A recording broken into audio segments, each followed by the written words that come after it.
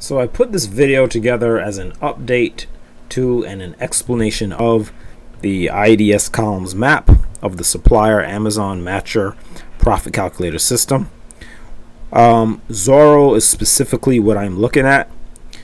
If you have version 3.2, the most recent version as of the date of this video, you may have Zoro.com in your columns map. Now, uh, however, as it turns out, depending on how you pull up your products on Zoro, there are actually two different columns maps that you need, which I just highlighted in yellow in the separate sheet. If you have uh, received a copy of this system December, uh, September 6th, today, uh, perhaps maybe after 12.30 p.m., it should already be updated on your copy. Otherwise, you need to go ahead and um, put these in. This video might have come uh, through an email message where I have already sent this to you. So there are two columns maps. There's a Zoro brand page and Zoro search page. So the difference is that if you get if you pull up your products by searching for something on Zoro, like if you search for uh, desks, and then you scrape it with the Instant Data Scraper Chrome extension, the IDS Chrome extension, that is a different CSV. That's one CSV, and that is the uh, Zoro search page CSV. I'll zoom this up a bit. Okay, that is the Zoro search page, which is a different, has different column headings from uh, the other way that you can pull up products, which is you might go all the way to the brands, okay, page on Zoro and you might select one of these brands and pull up a products list this way. When you scrape these products with the Chrome extension, you actually get a different CSV. So for that, you will use the Zoro brand page. Alright, so when I originally made this columns map, I had some uh, domains like walmart.com. You don't actually have to have a .com. You just need to have a name. Alright, so that is basically what I wanted to show in this video. And if you need to update it, yours should look like this. Um, you can just delete this one, the Zoro.com, and you can copy and paste the other two down here. So you can basically just take these from this file, and you can just copy these, and you can just paste them right here.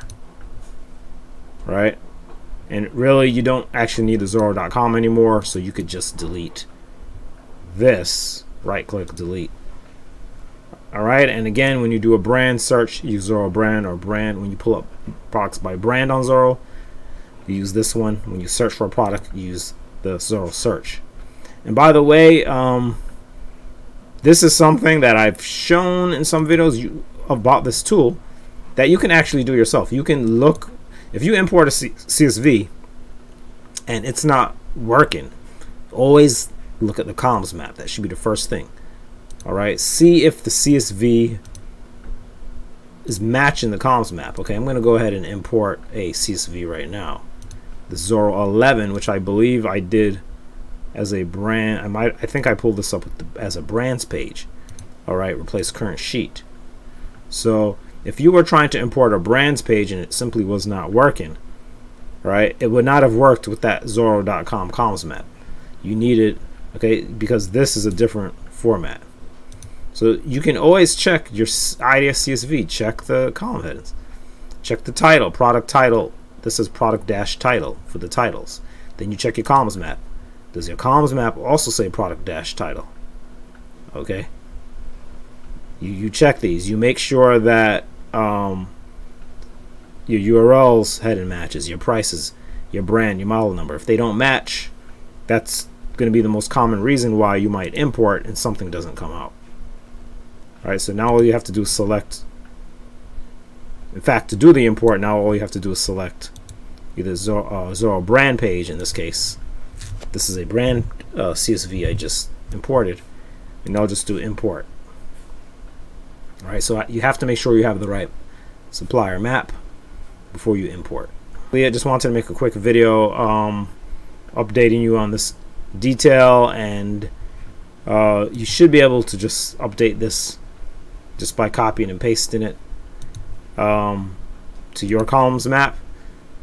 But again if you just purchased it uh, or if you purchased it after a certain time on September 6th I would say about 12:30 p.m. I already added that new columns map to the file. So you should have it already.